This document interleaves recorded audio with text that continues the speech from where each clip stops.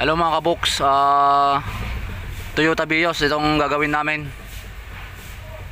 Meron pong tumutunog kapag pinipihit yung manibela.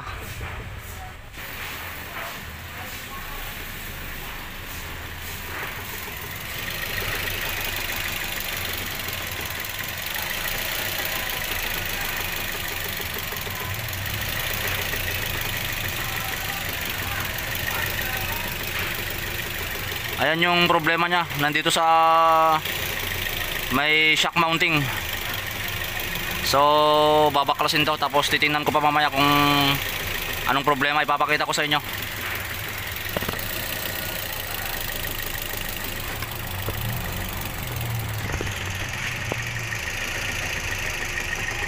Ito kung inyo pong papansinin na meron po silang inilagay na rubber dito. Naglagay sila ng sapi.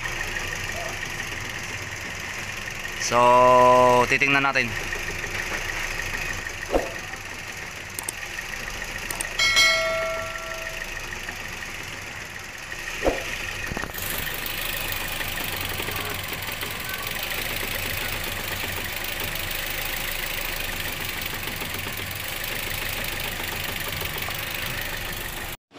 Ito na mga kaboks.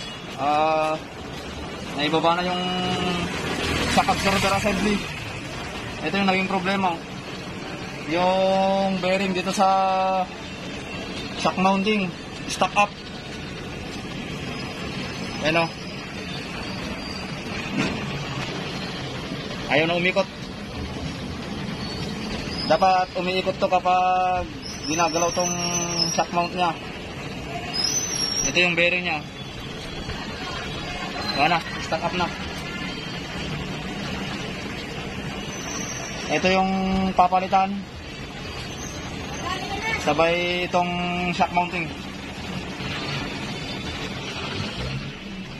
Ito na mga kabox, nakabit na yung shock mounting bearing. Ayun o. Smooth na yung ikot niya. Kapag nakapatong itong shock mounting. Yan. Yan o. Kaya ang ibig sabihin nun kanina ay stock up na talaga yung shock mounting bearing niya. Kaya kapag pinipihit yung manibela, para siyang kumakanto, yung pahinto-hinto siya. Kaya tumutunog siya. Yun o, wala. Ayos. Ayan mga kaboks, okay na. Wala na yung tumutunog kanina.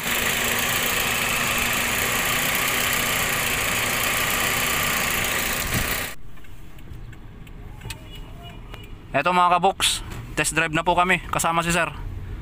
Siya yung nag-drive para maramdaman niya yung pagbabago doon sa mga ginawa namin sa sasakyan niya. Medyo meron tumutunog kasi kanina habang pinipihit yung manibela.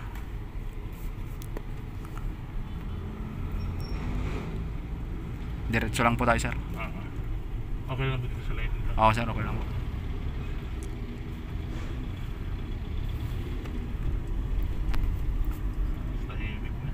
Sir, kumusta na po yung driving ng sakyan mo ngayon sir? Wala lang lumalak ito. Ayos lang gawa mo. Wala nang lagutok daw. Wala gawa ito. Kahit anong pihit mo. oh. Wala na. Ayun. Yan, shout out nga pala kay sir. Galing pa to sa Marikina. Dumayo ng Pasay. Sir, salamat po sa tiwala sir. Siyempre. Sa pagbisita sa aming maliit na pwesto. Oh, support box. Susunod, marami-rami pa tayong sasakyan. Nakaayusin. Yun. Salamat sa inyong suporta mga kaboks. At sa mga customer na nagpapagawa sa amin. Thank you, thank you sa inyo. Sir, thank you sir. Okay.